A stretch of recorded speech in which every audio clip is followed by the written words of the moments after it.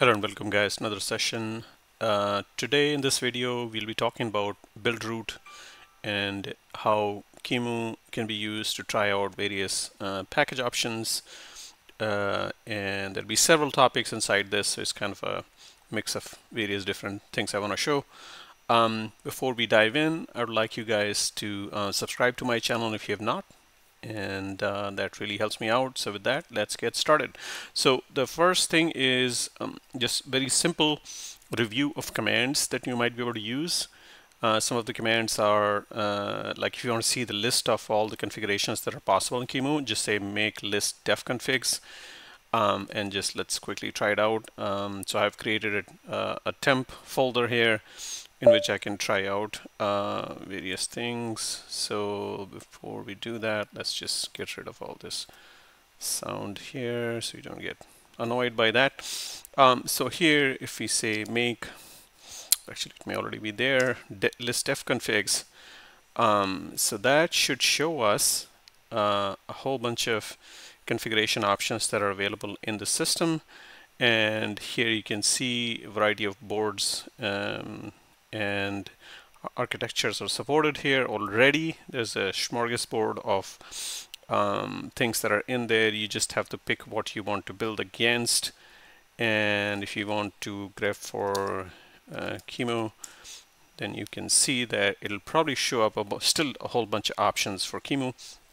Now I'm going to build a specific QEMU option, but uh, you can see that there's various options, right? Various architectures even for QEMU, the emulation supports a lot of things like FPGA boards like Nios 2 or you know RISC-based architectures and so on and so forth. There's a whole lot of things. So take a look at those. Uh, next command is because I'm going to be building for QEMU x86-64. Um, you can see that that is supported here. So before you do anything, before you start customizing, you have to run that command. So uh, let me see if I have I haven't done that. So I'm just going to run that command, just copy that.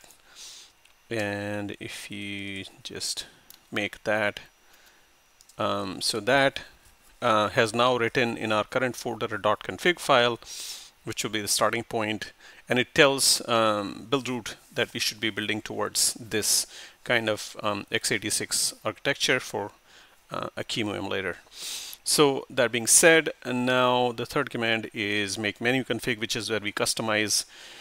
So it just goes like this. You just say make menu config, and then you start changing these options. Um, and you can go inside these. You also have a way to search these. If you uh, if you look here at the top, it shows you a way to search. Um, so if you do forward slash, that is for search. For example, if I want to look for dropbear, um, which is a SSH program. Here it tells you that the dropbear is located under target packages networking applications and it's called dropbear. And if you want to look directly inside the package, package folder uh, inside uh, where the installation is, you'll see package dropbear config.in. So, um, and also shows you how to turn them on uh, command line as well, right? So um, that being said, those are the simple things I wanted to show. Now I want to go back up to the actual folder where we are doing all the builds. So let's just jump into that one. Now we are in the real folder. This is where I've already done a bunch of work. And so I'm going to be able to show you how to move forward. So with that, I guess let's dive into something what I call hello package and hello package is just a way if I wanted to compile some of my C code and inject it into Buildroot how do I do that so if I go into package folder inside the package folder you will see there is a config.in and this config.in is kind of the global config.in that shows you how any package can be added into Buildroot and here we added miscellaneous section in which we have added our own package hello config in. So now let's go inside this packet in hello and um, and inside hello which we created there's again config.in and here we just say here's the package name and there's a boolean hello which then just shows some simple way to add this package. You can copy this and then hello.mk is the file that shows how to upload this file how to compile and upload or what the what are the compiled things that we use.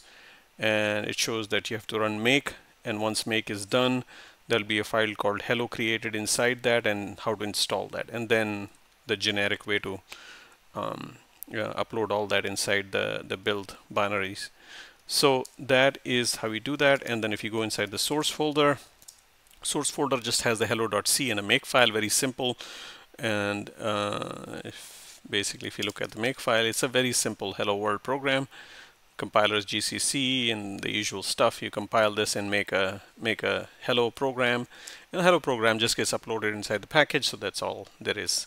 Now if you then go outside this uh, and go outside this to the main level in the Buildroot level we have already run um, QEMU x86 def configs as I've shown you earlier.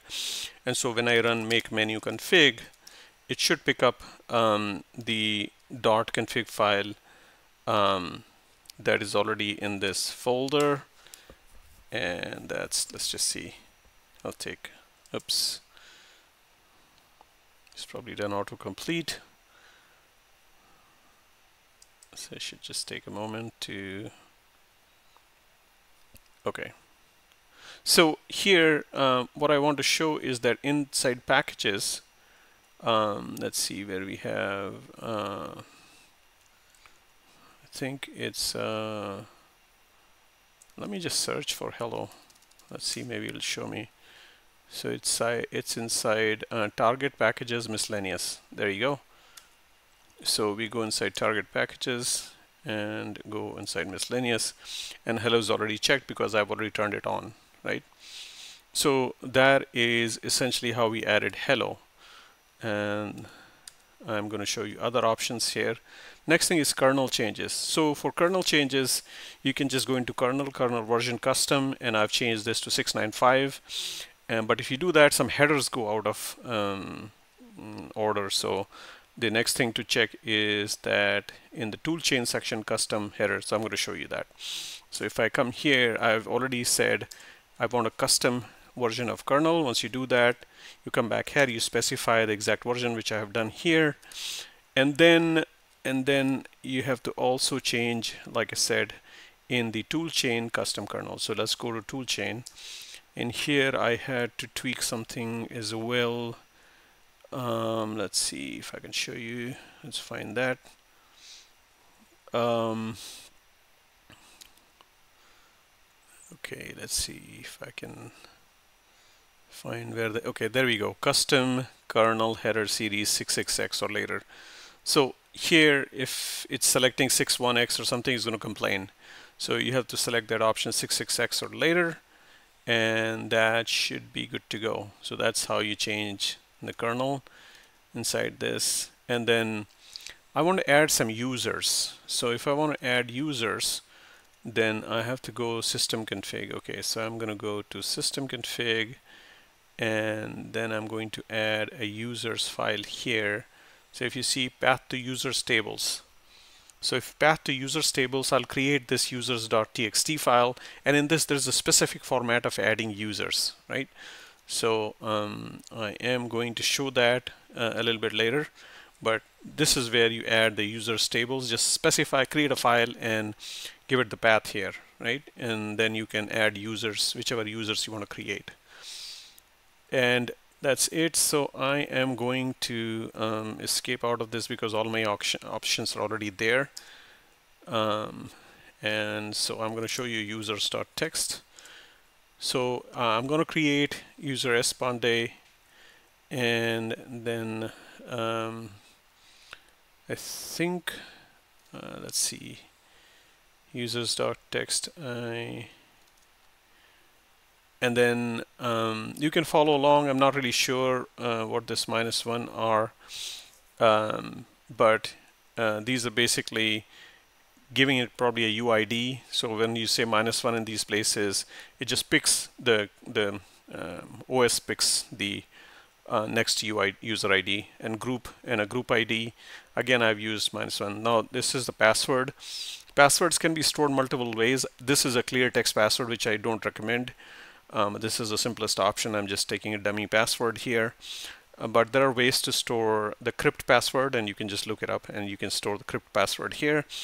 then the home folder and the shell and then target message uh, let's say welcome to uh, your OS okay so that's it that's what you do and then make menu config uh, is done and then you just run make and I've already run this once so this shouldn't take very long to complete. So let us see how long it takes. It should go pretty fast. Now once this is done you can go inside output and images. And here you will find a script called start QEMU and we'll look at start QEMU dot shell. And you can see that this can start it but there is a little problem here. So it lets you open the QEMU but it doesn't map the SSH I can also show you how to SSH into the, the thing. So um, I'm going to show you how it SSHs so I have a backup script here. Because every time you do this your script gets overwritten. If you correct it it's gone. So here's where I added uh, host forwarding of TCP port 2222 uh, to port 22 inside, which is the SSH port. Um, so I have done this right here, right? So I have, this is what you can do in your script um, to get this. So what I'm going to do is basically rm start qemu.sh and then I'm going to copy start qemu.sh as start qemu.sh. Okay, so now I'm going to start this and it's going to start QEMU uh, x86-64 environment for me. And there we go. So root is the default and I have got inside root but um, but also I'm going to show you um, that uh, what is my OS version. So uname dash r and you can see that instead of 6.1 I have gotten 6.95 which is what the kernel I had intended to get right and also if you run hello you can see that our hello package is also installed. So the kernel and hello package are there. That's fantastic. Let's see if we have our users available. And so if I log in as myself and there we go. So it also allowed me to come in as the user that I had provided and the password that I had provided. So that's great. Final thing is that if I um, want to get inside this and uh, let's say I'll create another one. And I want to SSH into this. So if I want to SSH then I have to say SSH uh, espande at localhost. And um, that is port is 2222 and hopefully so it, it's because the kernel has been regenerated I'm going to delete my uh, known host file. So um, .ssh known host and then I'm going to SSH again and I'm going to accept this and and there you go. So I have SSH inside um, inside this um, QEMU and now I can do whatever I want to do. Um, say hello. So that shows you that I'm actually logged into my OS on the other side. So um, I think that that's mostly uh, what I wanted to show today that uh, as a summary uh, we wanted to um, go through this hello package uh, show you how it's integrated. A very simple example of hello C, C file and how it was run. Then we try to take, make some kernel changes, kernel improvements. We could do that with just the make uh, menu config, and we were able to add a users.txt file. And then finally, uh, we were able to SSH. Now SSH does require dropbear.txt, sorry, dropbear program. So I'm just going to show. I think I've shown this in an earlier session, but I'm just going to walk back and make sure you are clear uh, because if you don't have dropbear running it will not work. So search for dropbear and you see that's in target package networking. And so just go to target packages and networking applications. And if you just go down to D you can see that dropbear is enabled. So make sure this is enabled or you would not get your SSH session in right? And uh, you can easily see that dropbear is available and running. Once you log in make sure that is there uh, by doing ps-ef and making sure dropbear is there. And if you've done that you should be able to SSH into it from outside which is fantastic. You'll be able to do all the uh, test work that you are planning to do with your Buildroot so with that I guess we have um, come to our um, end of this video. Hopefully you liked it and if you did please subscribe to my channel and I will see you in another video. Until then take care. Thanks a lot and bye bye